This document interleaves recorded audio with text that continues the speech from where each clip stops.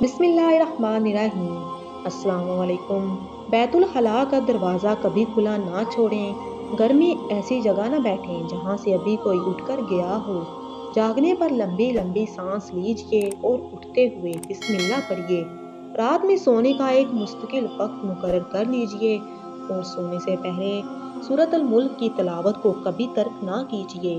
नमाज़ के बाद आयतल कुर्सी की तलावत से आप और जन्नत के दरमियान में सिर्फ़ मौत का हायल होना बाकी रहता है। आपको जिन लोगों से प्यार है, उन्हें ये पैगाम भेजें। नेकी की तरफ़ तवज्जो दिलाने वाला, नेकी करने वाला जैसा अजर पाता है सुबह अल्लाह और इसके अलावा नवेरा इस्लामिक टीवी को लाजमी सब्सक्राइब करें ताकि इस तरह की मजीद वीडियोस आप तक सबसे पहले पहुँच सकें। मिलते हैं किसी और अच्छी सी वीडियो के साथ। तब तक अपना और अपने प्यारों का ढेर सारा ख्याल रखें। अल्लाह के बाद